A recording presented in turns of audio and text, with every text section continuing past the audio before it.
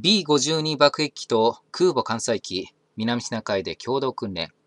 先日、アメリカ軍が、え、このように南シナ海において B52 爆撃機と空母ニミッツ、またロナド・レーガンの艦載機とで共同訓練を行ったと発表しました。え、こちら戦闘機と早期警戒機が確認できますが、現在中国は南シナ海と東シナ海、さらに黄海において軍事演習を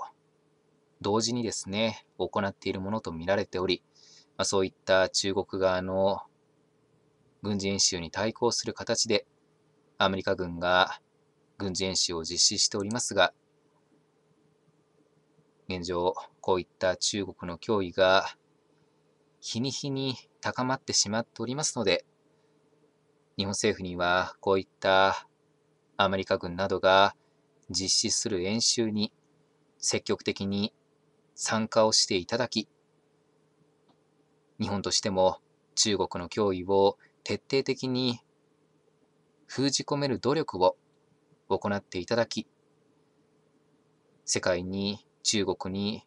対抗する意思があると、しっかりと発信していただくようお願いいたします。